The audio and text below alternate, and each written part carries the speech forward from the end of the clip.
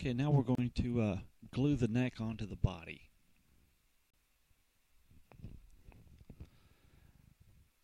Okay, I'm just going to uh, make sure we've got a good fit, make sure the neck uh, matches the center line.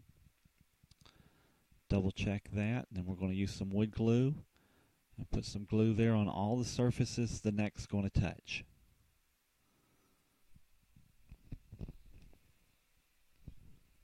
I'm just going to take a disposable brush here and uh, work the glue on all those surfaces. Again, wherever that uh, tenon is going to touch the body, you want glue there on that surface. Make sure you put some here on the uh, top of the body as well. And then do the same thing on the neck tenon.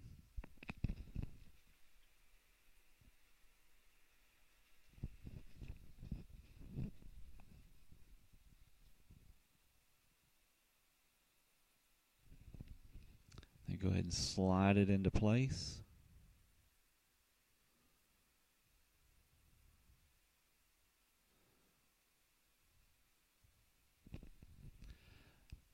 and then protect the top of the uh, fretboard with just some scrap pieces of wood and we're going to take a clamp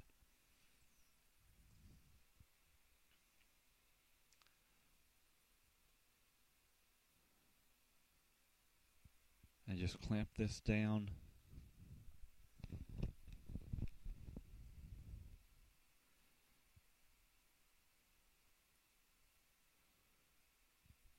And now we're going to have another clamp going from uh, here the neck to the bottom of the the guitar. So make sure that this first clamp doesn't interfere with that one. And you can see here while we left that flat part on the heel of the neck and we didn't shape that before. This gives us a, a flat area that the clamp can grab onto.